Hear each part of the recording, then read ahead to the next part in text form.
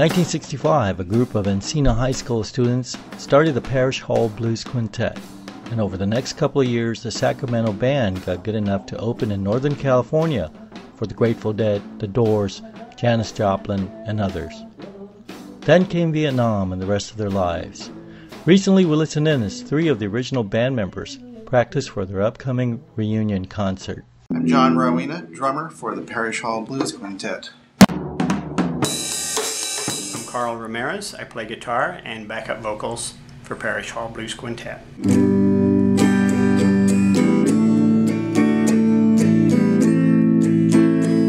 Hi, I'm Mike Andrews. I play guitar, harmonica, and do vocals for the Parish Hall Blues Quintet.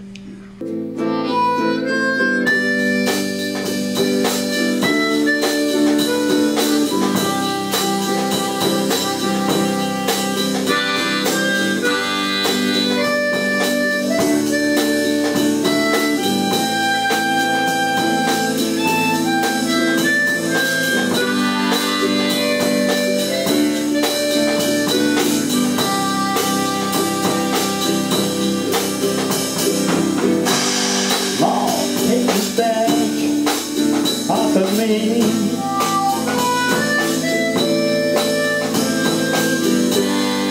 I can't use it anymore.